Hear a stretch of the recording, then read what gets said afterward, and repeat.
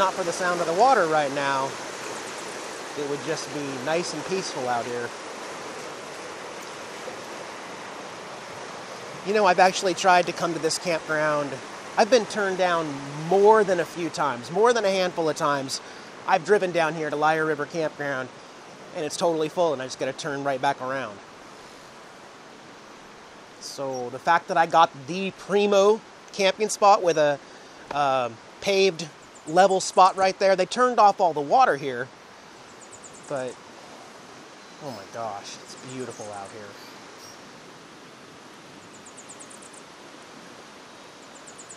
It's uh, a free campground. No, no hookups. Like I said, they do have drinking water, and they have some vault toilets, hole in the ground toilets. And I think they've got seven campsites here. Not a single person here in early March. Uh, and this one's open year round, which is kind of cool. A lot of them close, and this one this one's open year round, which is very cool.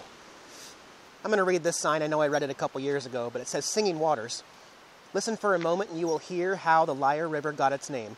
The river must have sounded magical to the early Indians who camped in its banks. Settlers, too, were lulled to sleep by the sound of its flowing water. I pretty much woke up to the sound of birds this morning. I got used to the water, I guess. But the birds. Just nobody out here. Just me and Jax. This is near campsite 7, and what a lot of people like to do, since this is one of only two places where you can get water here, is they'll put in a little Y adapter right here with an on off switch and then run their hose to their RV so that people can still come over and turn the other one to get water. But like I said, here in March, they still have not turned the water back on. You do need a Discover Pass to stay here, it's $35 annual pass, and you have to register, write out a piece of paper and put that in a box between June 15th and October 15th. So they don't care about outside that time frame, I guess. But, you know, to the people that complain about the $35 Discover Pass, it gives you unlimited free camping in this state. So you go somewhere else, you might spend $35 one night at one campground. So you can't really complain, I don't think.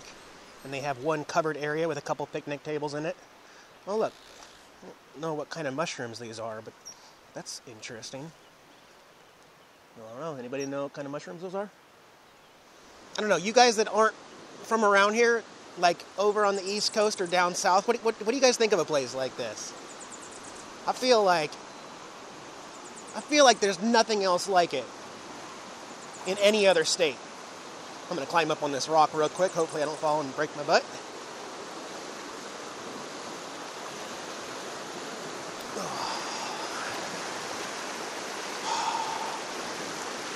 kind of chilly. The river is actually quite noisy. But anyway, um, I'm actually breaking down camp right now. I already had breakfast, and I'm getting ready to head out of here, guys. So, we're gonna have a lot of fun today. We're gonna do 101, which you guys remember my US 101 sign that's in my RV? this stretch, although this is the Olympic uh, Loop, this is still one of my favorite spots to to travel 101. So we're gonna have some fun today for sure.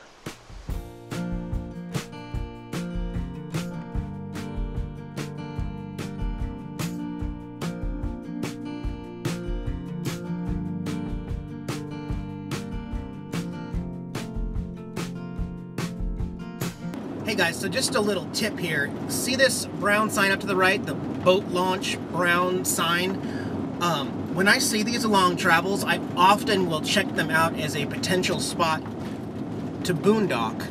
Now, not always. I mean, obviously, if it if the wording says no overnight parking or no unauthorized vehicles unless you're a boat trailer, um, then you know won't work. But oftentimes if there aren't any rules and people are using it already, I will add these spots to freecampsites.net as an, an unofficial overnight camping spot uh, often. And I'm not ready to like park for the day. I still want to do a lot of driving today, but um, still, this I can add something to a map for later. I guess. Is oh my gosh, look at the water.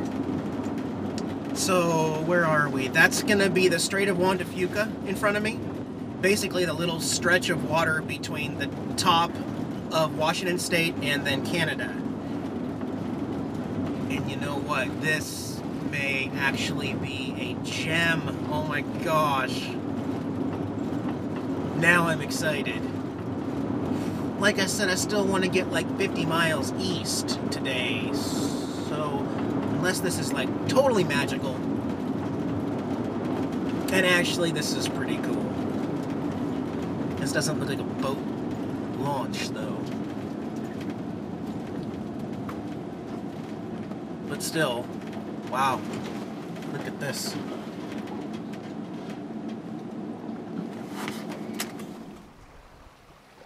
Yeah, now see, in my opinion, that tiny little brown sign doesn't do this place justice. This is amazing. And as you can see, there aren't really any signage. Nothing. It's, I don't see the, oh, wait a minute, actually. Actually, I'm in the wrong spot. I can see the concrete boat launch over there. Oh, and there's a gravel park. Duh, okay. Well, anyway, this is cool too.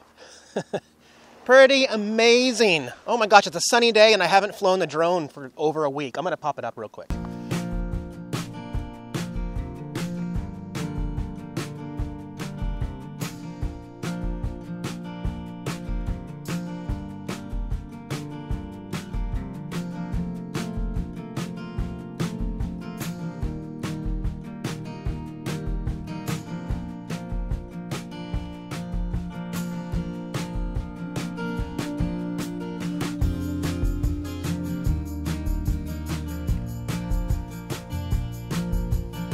That's a cool little turnoff, but I just want you guys to note that the boat launch area is really right here off to the right. Local traffic only beyond here. Gardiner launch ramp, recreational use only, so no commercial use. Otherwise, yeah, that could work. Hey, Jax. Oh, whoops, hang on. Right in front of me, no overnight parking. Never mind. Cancel all that. Sorry, guys. I won't put the GPS coordinates to this place. That's that's too bad. Oh well, that spot over there was cool.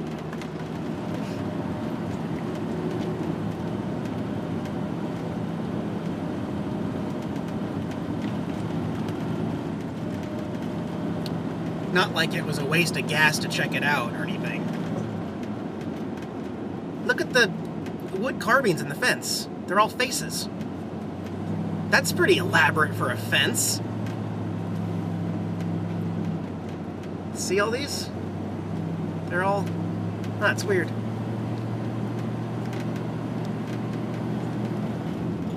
Whoa. Like a castle house.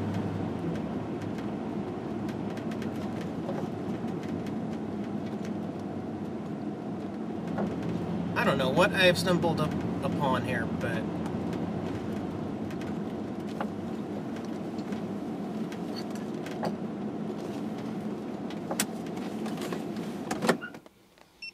apparently today is going to be Eric stops at roadside attractions and weird wooden troll day. I don't know.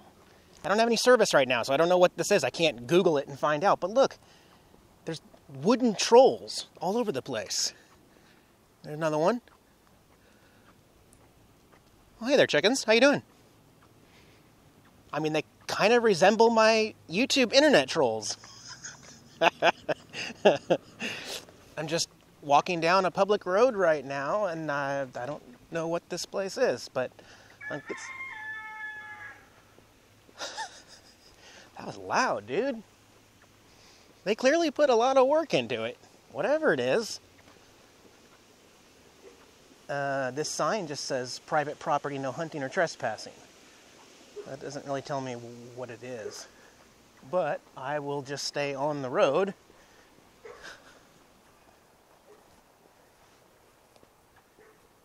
Huh. Okay, this sign says we're on the corner of Gardiner Beach Road and Rondelet Road. I don't understand. What's up with the castle and all the. Look at this guy. This guy looks exactly like my YouTube trolls. The trolls can kiss my butt. Kiss my butt, trolls. There's a bald eagle made out of wood. Lots of chainsaw wood art here. Okay, the only information I can give you this is called Troll Haven, and it's www.trollhaven.org is their website. So I don't know if they like rent out little cottages or places in here, but it's definitely unique. And then you got to get through these two dragons to get any further. So I guess that's it. Um, trying to think. I can give the GPS locations for this thing, even though I don't have service. Thank you everyone for reminding me that the phone still records GPS. So I'll pop those down below and anything else I find for today will be in the video description. All right, on to the next spot. Is that your new spot? That's your new spot on the couch? Okay.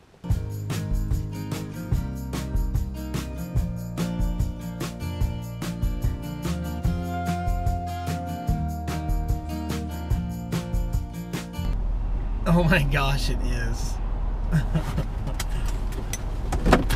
All right, so I've seen a lot of really neat reuses of old train cars, like cabooses. Uh, I was down in Oregon and they turned one of these into like a little hotel for like 200 bucks. You could stay in an actual hotel. Uh, this one here in the town of Discovery Bay, this is a pot shop. Yeah, I know you guys are familiar, but Washington State has legalized recreational marijuana. So I don't know, maybe maybe if you're watching this five, ten years from now, the whole country is like that. But right now, there's only a few states where you can go in, show them your ID if you're over 21, buy marijuana, and smoke it recreationally. So I think that's kind of cool here. Um, but yeah, that's definitely that's an interesting use for train cars for sure.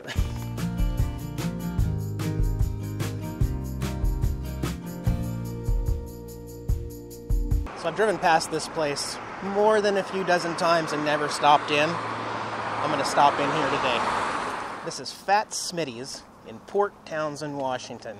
And it's got a whole bunch of really neat wood carving out here with the Pepsi Cola, the huge burger. Burger guy, I guess.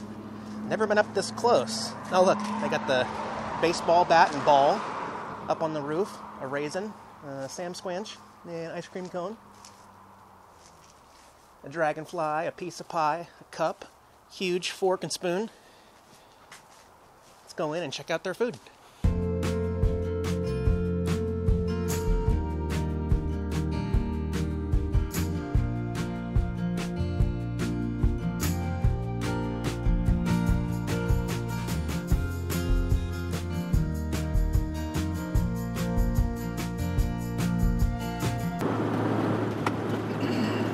Oh my gosh, I'm stuffed.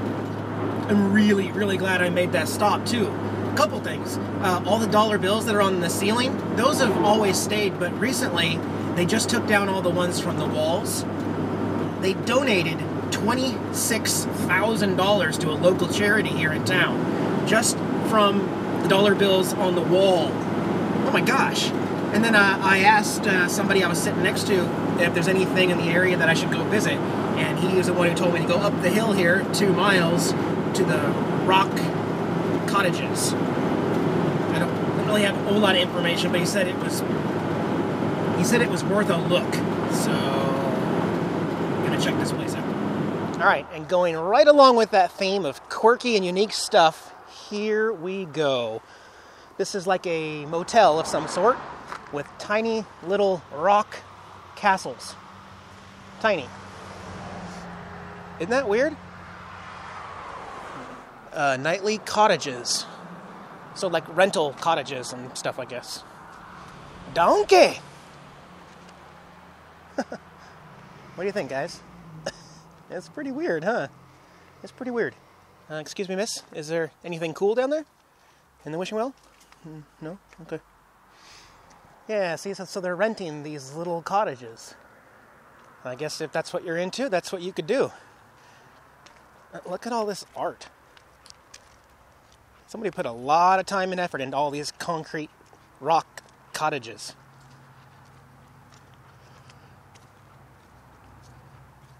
Yep. Definitely interesting. Again, I'll put the GPS coordinates for you in case you want to stop by and see this stuff. I can get back on the road.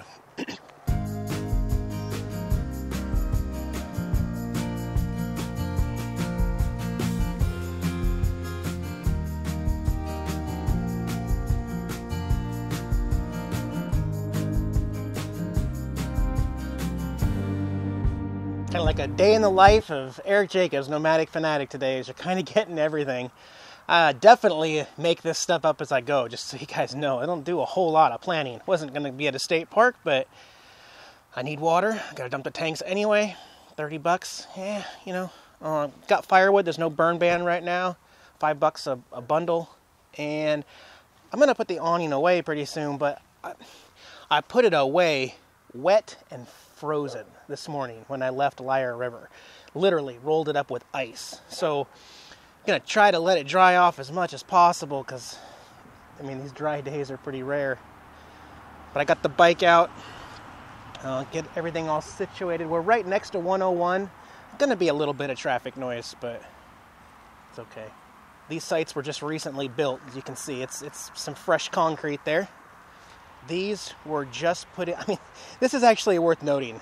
You, you, I'm going to be the first person to ever use this fire pit here. It has never been used. It was installed, you know, put into the ground right where it's at, with the grass still in there. You know, just plopped right in there, and never been used. The picnic tables have obviously been repurposed from another campground or something. It's kind of cool to see everything fresh. I don't think anybody's ever turned on this water faucet here. Should have 50 amp and everything in there. Yep, good to go. And my own poop spout. Yep.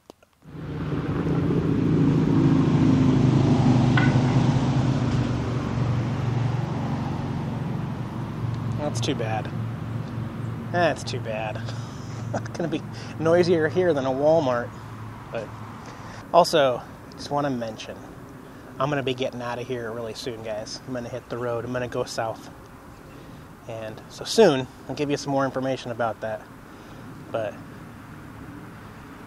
except for the nature type stuff, I'm really getting tired of, of a lot of the drama that's going on here back home. I love my family, but like friends and stuff, and just just kind of tired of being stabbed in the back. So so I'll get all situated here, edit some video, let this dry off, get back to you tonight for the fire.